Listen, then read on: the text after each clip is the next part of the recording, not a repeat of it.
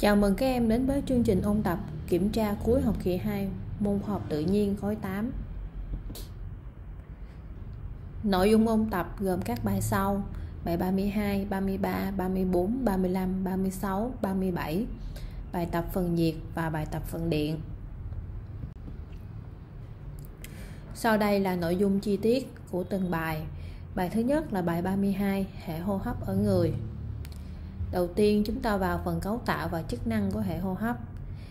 Các em cần nắm cho cô hệ hô hấp gồm đường dẫn khí và phổi. Các cơ quan trong hệ hô hấp phối hợp nhịp nhàng với nhau, thực hiện chức năng trao đổi khí. Đây là chức năng chung của hệ hô hấp. Tiếp theo các em cần nắm các cơ quan của hệ hô hấp cũng như là chức năng của các cơ quan Đường dẫn khí gồm có xoang mũi, làm sạch, làm ẩm không khí, hầu, họng dẫn khí, thanh quản dẫn khí phát âm, khí quản dẫn khí và làm sạch không khí, phế quản dẫn khí điều hòa lượng khí vào phổi. Phổi bên trong có nhiều phế nang để trao đổi khí. Cơ hoành cử động hô hấp bảo vệ hô hấp. Một số bệnh về hô hấp thường gặp là viêm đường hô hấp, viêm mũi, viêm họng, viêm thanh quản, viêm phế quản, hoặc là viêm phổi, hen suyễn, cúm, hội chứng hô hấp cấp tính nghiêm trọng, bao gồm bệnh SARS, bệnh COVID-19 một số biện pháp phòng bệnh về hô hấp. Giảm tiếp xúc với các tác nhân gây bệnh. Thứ hai là nên tiêm vaccine phòng bệnh, không hút thuốc lá đeo khẩu trang khi ra đường hay là khi hoạt động ở nơi có nhiều bụi. Luyện tập thể dục thể thao phù hợp, giữ vệ sinh cá nhân, vệ sinh môi trường và ăn uống đủ chất. Phần thực hành hô hấp nhân tạo. Các em cần nắm cho cô hô hấp nhân tạo sẽ được sử dụng để cấp cứu cho người bị đuối nước, người bị ngạt do vùi lấp hoặc do ngạt khí độc hoặc người bị điện giật, dẫn đến ngừng thở, ngừng tim à, và quá trình hô hấp nhân tạo sẽ giúp lưu thông không khí và lưu thông máu Bài tiếp theo chúng ta cần nghiên cứu đó là bài 33 môi trường trong cơ thể và hệ bài tiết ở người. Đầu tiên là phần môi trường trong cơ thể. Chúng ta cần nắm môi trường trong cơ thể sẽ bao gồm máu, dịch mô là dịch giữa các tế bào và dịch bạch huyết. Hệ bài tiết, chức năng của hệ bài tiết hệ bài tiết có chức năng là quá trình lọc và thải các chất dư thừa chất độc hại sinh ra do quá trình trao đổi chất của cơ thể. Hoạt động bài tiết đảm bảo ổn định môi trường bên trong cơ thể. Cấu tạo của hệ bài tiết nước tiểu. Các em cần nhớ hệ bài tiết nước tiểu bao gồm 4 phần là thận, ống dẫn nước tiểu, bóng đái và ống đái. Cấu tạo của thận gồm có miền vỏ, miền tủy và bể thận một số bệnh liên quan đến hệ bài tiết nước tiểu. Thứ nhất là bệnh viêm thận, viêm đường tiết niệu, sỏi thận, sỏi đường tiết niệu, suy thận do tăng huyết áp, suy thận do đái tháo đường, viêm cầu thận. Để phòng các bệnh bài tiết thì mỗi người chúng ta cần thực hiện chế độ dinh dưỡng và lối sống lành mạnh. Ví dụ như uống đủ nước, hạn chế thức ăn chế biến sẵn có chứa nhiều muối, hạn chế uống nước giải khát có ga vận động thể lực phù hợp, không tự ý uống thuốc, không được nhịn tiểu. Ngoài ra, cần đảm bảo môi trường sống sạch sẽ, tránh tiếp xúc với các mầm bệnh. Một số thành tựu trong chữa bệnh liên quan đến thận. Khi cả hai thận của một bệnh nhân sẽ không đáp ứng được các chức năng lọc máu nữa, để thải những cái chất độc, chất thừa ra khỏi cơ thể thì được gọi là suy thận giai đoạn cuối khi đó thì bệnh nhân vẫn có thể sống được nhờ phương pháp chạy thận nhân tạo hay ghép thận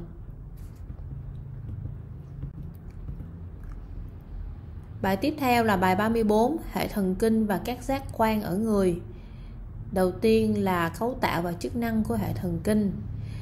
Hệ thần kinh có cấu tạo gồm hai bộ phận, đó là bộ phận trung ương gồm não bộ và tủy sống và bộ phận ngoại biên gồm dây thần kinh và hạch thần kinh. Hệ thần kinh có chức năng là điều khiển, điều hòa và phối hợp hoạt động của các cơ quan và hệ cơ quan trong cơ thể. Để đảm bảo cho cơ thể là một khối thống nhất, thích nghi với môi trường bên ngoài cũng như môi trường bên trong cơ thể. Một số bệnh về hệ thần kinh. Tai biến mạch máu não, gây tổn thương não nè, thoát vị đĩa đệm, làm chèn ép các dây thần kinh tủy, Alzheimer gây mất trí nhớ hay bệnh Parkinson gây khó khăn trong vận động để phòng bệnh về hệ thần kinh thì mỗi người chúng ta cần thực hiện chế độ dinh dưỡng cũng như lối sống lành mạnh, như là luyện tập thể dục thể thao thường xuyên, đảm bảo giấc ngủ, không sử dụng chất kích thích thường xuyên kiểm tra sức khỏe, cần suy nghĩ tích cực, tham gia nhiều hoạt động xã hội, giao tiếp và học tập. Tác hại của chất gây nghiện đối với hệ thần kinh. Khi vào cơ thể, chất gây nghiện sẽ gây tác động kích thích, hưng phấn lên hệ thần kinh, gây ảo giác nên từ đó có thể ảnh hưởng đến nhận thức, ý thức và hành vi. Việc sử dụng thường xuyên các chất gây nghiện sẽ dẫn đến nghiện, rối loạn trí nhớ, rối loạn giấc ngủ, trầm cảm, hoang tưởng và hủy hoại dần các tế bào thần kinh. Tiếp theo là phần các cơ quan cảm giác. Các cơ quan cảm giác có chức năng là giúp cho cơ thể cảm nhận được các kích thích từ môi trường bên ngoài đầu tiên chúng ta tìm hiểu về cơ quan thị giác. Cơ quan thị giác sẽ giúp cảm nhận hình ảnh và màu sắc của vật. Cấu tạo cầu mắt. Cầu mắt gồm có 3 phần từ ngoài vào trong. Thứ nhất là màng cứng bảo vệ phía trước sẽ có màng giác trong suốt hay còn gọi là giác mạc. Màng thứ, lớp màng thứ hai là lớp màng mạch có nhiều mạch máu lớp màng thứ ba là lớp màng lưới, hay còn gọi là võng mạc, có các tế bào thụ cảm thị giác.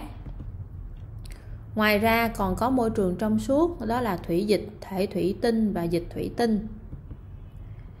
Điểm vàng điểm vàng là nơi mà khi ảnh hội tụ tại đây thì sẽ nhìn rõ vật nhất. Điểm mù là điểm mà nơi ảnh hội tụ tại đây sẽ không nhìn thấy vật vậy thì quá trình thu nhận ánh sáng sẽ diễn ra như thế nào? Khi ta nhìn vật thì hình ảnh của vật sẽ đi vào giác mạc, qua đồng tử, đến thủy tinh thể, đến võng mạc, và được các tế bào thụ cảm ánh sáng đón nhận. Sau đó, chuyển thành xung thần kinh, truyền theo dây thần kinh thị giác đến trung khu thị giác ở não bộ, giúp cho ta nhận biết được hình ảnh và màu sắc của vật. Một số bệnh và tật về mắt. Đây là hình ảnh mắt bình thường. Đây là một số bệnh, thứ nhất là viêm kết mạc, đục thủy tinh thể lẹo mắt, tăng nhãn áp, hay viêm giác mạc. Ngoài ra còn có một số bệnh và tật khác như thoái hóa điểm vàng, dị ứng mắt, viêm bờ mi mắt lẹo mắt, lát mắt, giác mạc hình nón, quán gà, đau mắt hột, hay trong học đường chúng ta thường hay bị các tật khúc xạ ở mắt như cận thị viễn thị loạn thị. Để phòng bệnh và tật về mắt ta cần thực hiện. Thứ nhất là có chế độ dinh dưỡng đủ vitamin A thời gian ngủ phù hợp tránh đọc sách với khoảng cách gần thiếu ánh sáng tránh sử dụng các thiết bị điện tử như TV, máy tính, điện thoại thời gian dài và liên tục. Vệ sinh mắt thường xuyên không dùng chung khăn mặt để tránh nhiễm khuẩn gây bệnh.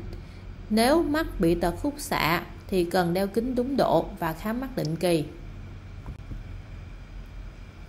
Tiếp theo, chúng ta qua phần cơ quan thính giác. Chức năng của cơ quan thính giác là giúp ta cảm nhận âm thanh, cấu tạo của tai. Tai gồm có 3 phần chính, đó là tai ngoài, tai giữa và tai trong. Tai ngoài gồm vành tai, ống tai và màng nhĩ tay giữa gồm chuỗi xương tai và vòi nhĩ. Tay trong có ốc tai chứa các tế bào thụ cảm thính giác. Vậy thì quá trình thu nhận âm thanh sẽ diễn ra như thế nào? Âm thanh được vành tai hứng lấy, truyền vào ống tai, đến màng nhĩ. Sau đó truyền qua chuỗi xương tai, qua ốc tai. Tại ốc tai được các tế bào thụ cảm âm thanh nhận lấy và chuyển thành xung thần kinh theo dây thần kinh thính giác đến trung khu thính giác ở não bộ khi đó ta cảm nhận được âm thanh đã phát ra một số bệnh về tai viêm tai ngoài viêm tai giữa tổn thương tai trong Ngoài ra còn có một số bệnh khác về tai như chàm tai, viêm sụn vành tai, ù tai, điếc.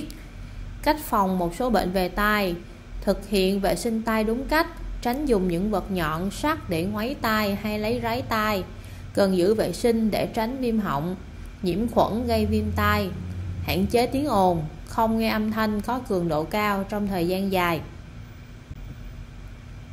Bài tiếp theo chúng ta cần tìm hiểu đó là bài số 35 hệ nội tiết ở người. Đầu tiên là các tuyến nội tiết.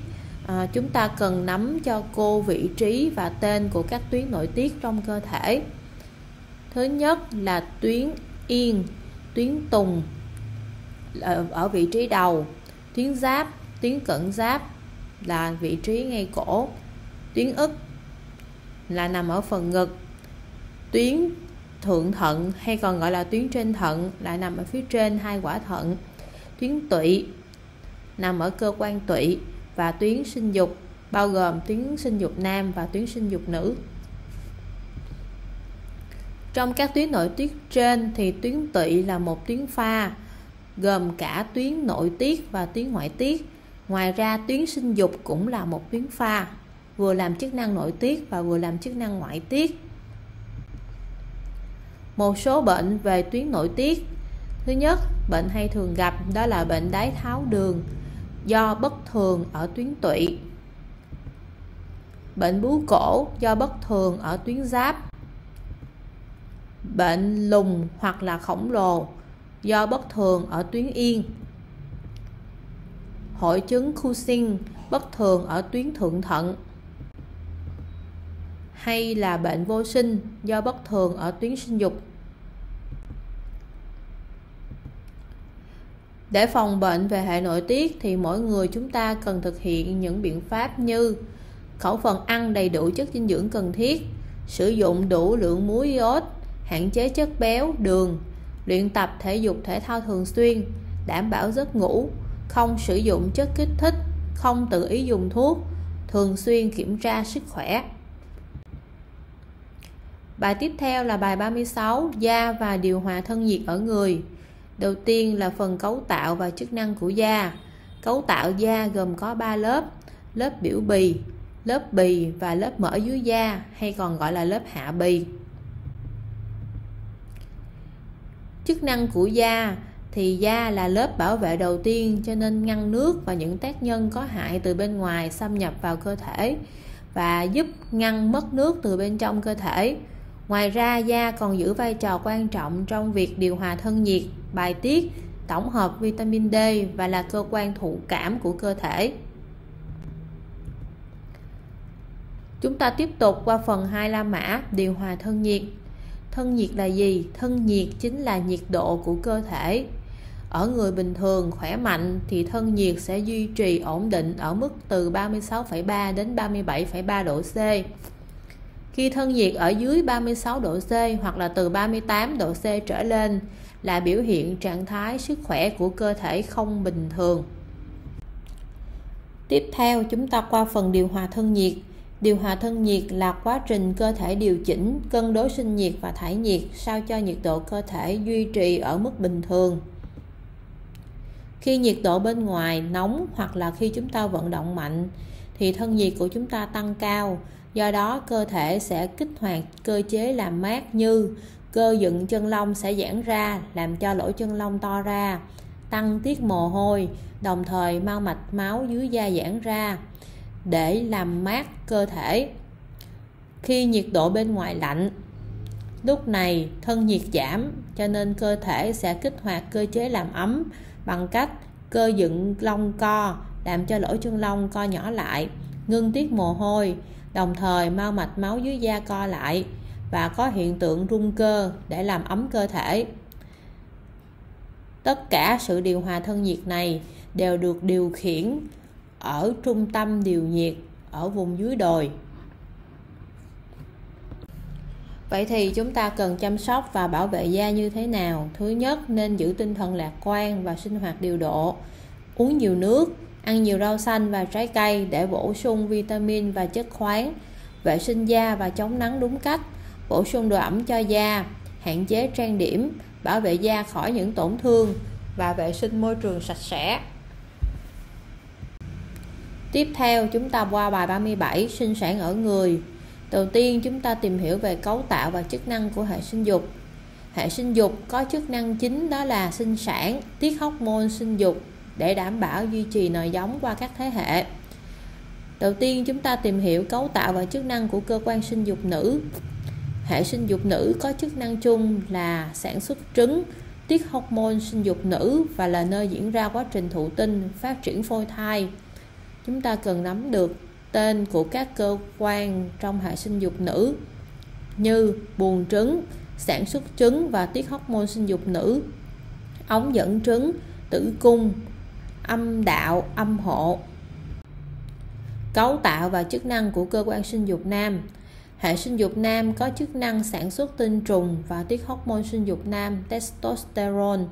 Các cơ quan sinh dục nam bao gồm tinh hoàng là nơi sản xuất tinh trùng và hormone sinh dục nam. Ngoài ra còn có túi tinh, ống dẫn tinh, tuyến tiền liệt, tuyến hành, màu tinh hoàng và dương vật. Hiện tượng thụ tinh, thụ thai và kinh nguyệt.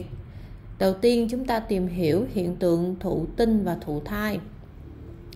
Thụ tinh là quá trình kết hợp của tinh trùng và trứng tạo thành hợp tử. Khi hợp tử di chuyển dọc theo ống dẫn trứng hướng về phía tử cung đồng thời phân chia tạo thành phôi. Thì lúc này phôi bám vào lớp niêm mạc tử cung dày, xốp và chứa nhiều mạch máu để làm tổ, phát triển thành thai. Thì chúng ta gọi đó là hiện tượng thụ thai. Hiện tượng kinh nguyệt sau khi trứng rụng mà không được thụ tinh thì lượng hormone do buồng trứng tiết ra sẽ bị giảm đi. Vì vậy lớp niêm mạc tử cung sẽ bong ra, thoát ra ngoài cùng máu và dịch nhầy nhờ sự co bóp của tử cung thì chúng ta gọi đây là hiện tượng kinh nguyệt. Hiện tượng kinh nguyệt sẽ xảy ra theo chu kỳ và bắt đầu xuất hiện ở tuổi dậy thì. Độ dài chu kỳ kinh nguyệt của mỗi người sẽ khác nhau, thông thường kéo dài khoảng 28 đến 32 ngày cho một chu kỳ. Bảo vệ sức khỏe sinh sản Bệnh lây truyền qua đường sinh dục là những bệnh lây từ người này sang người khác qua quan hệ tình dục không an toàn. Một số bệnh như uh, vi khuẩn, virus nấm hoặc là ký sinh trùng gây nên là HIVS, bệnh lậu, giang mai, sùi màu gà, viêm gan B. Để bảo vệ sức khỏe sinh sản vị thành niên, bản thân mỗi người chúng ta cần chủ động tìm hiểu kiến thức về sức khỏe sinh sản vị thành niên từ nguồn thông tin đáng tin cậy, vệ sinh cá nhân, bộ phận sinh dục đúng cách, sinh hoạt điều độ, tập thể dục thể thao thường xuyên và dinh dưỡng hợp lý. Không nên quan hệ tình dục trước tuổi trưởng thành, không sử dụng các chất kích thích, không xem phim ảnh, website không phù hợp để tránh những ảnh hưởng tiêu cực đến sức khỏe, thể chất và tinh thần. Có hành vi đúng mực với người khác giới để giúp giữ gìn tình bạn trong sáng, giúp đỡ nhau cùng tiến bộ và giảm nguy cơ bị xâm hại tình dục. Tiếp theo là phần câu hỏi tự luận. Câu số 1. Vì sao chúng ta không nên đốt than củi trong phòng kính khi ngủ? Bởi vì sự cháy của than củi sẽ tiêu hao khí O2 và sản sinh ra hai loại khí gây độc cho cơ thể là CO2 và CO.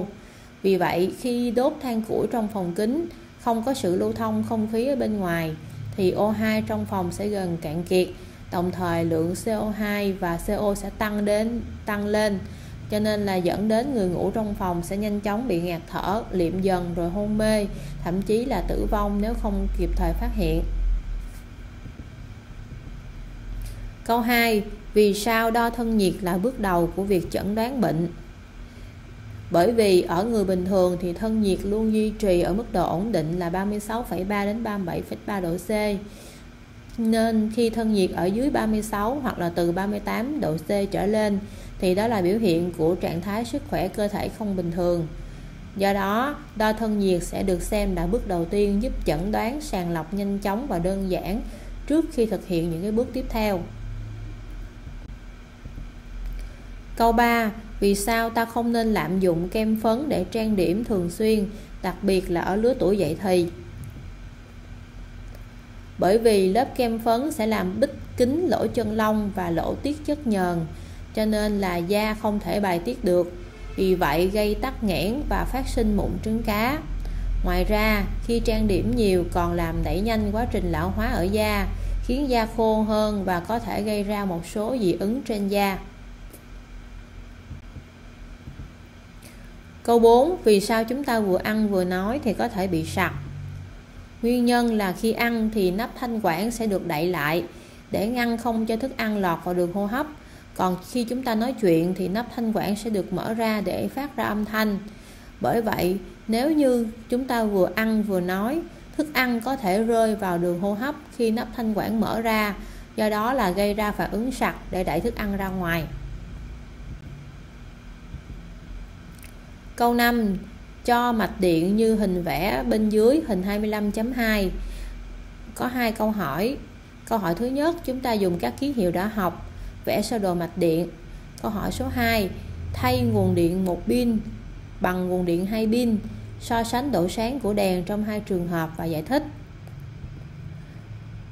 Với câu hỏi số 1 chúng ta vẽ được một mạch điện đơn giản, gồm nguồn điện là một pin. Một công tắc đang mở các dây nối một bóng đèn và một vôn kế mắc song song với bóng đèn để đo hiệu điện thế giữa hai đầu bóng đèn. Câu hỏi số 2. Trường hợp nguồn điện là hai pin thì bóng đèn sẽ sáng hơn bởi vì khả năng sinh ra dòng điện của nguồn điện hai pin là lớn hơn nguồn điện một pin. Câu số 6. Khi trời lạnh, người số 1 hơ hai bàn tay trên ngọn lửa, người số 2 hơ hai bàn tay bên cạnh ngọn lửa và người số 3 đeo găng tay vải đang đốt nóng một đầu thanh sắt như hình bên dưới. Em hãy quan sát hình và trả lời các câu hỏi. Câu hỏi thứ nhất, hình thức truyền nhiệt chủ yếu từ bếp lửa tới hai bàn tay người số 1 và người số 2 là gì? Câu hỏi B, hình thức truyền nhiệt chủ yếu từ đầu thanh sắt bị đốt nóng đến tay người số 3 là gì? Câu hỏi C, phần năng lượng nhiệt mà bàn tay người nhận từ ngọn lửa được gọi là gì? nội năng của bàn tay tăng lên hay giảm đi? Và câu hỏi D, vì sao khi cầm thanh sắt hơi nóng trên ngọn lửa thì người số 3 phải đeo găng tay vải? Câu trả lời như sau. Câu A, hình thức truyền nhiệt chủ yếu từ bếp lửa tới hai bàn tay người số 1 là hình thức đối lưu hình thức truyền nhiệt chủ yếu từ bếp lửa tới hai bàn tay của đến người số 2 đó là bức xạ nhiệt Câu B, hình thức truyền nhiệt chủ yếu từ đầu thanh sắt bị đốt nóng đến tay người số 3 đó là dẫn nhiệt. Câu C, phần năng lượng nhiệt mà bàn tay người nhận từ ngọn lửa được gọi là nhiệt lượng và nội năng của bàn tay tăng lên. Câu D, vì găng tay làm bằng vải là vật dẫn nhiệt kém nên khi đeo vào cầm thanh sắt nóng thì sẽ không bị bỏng tay.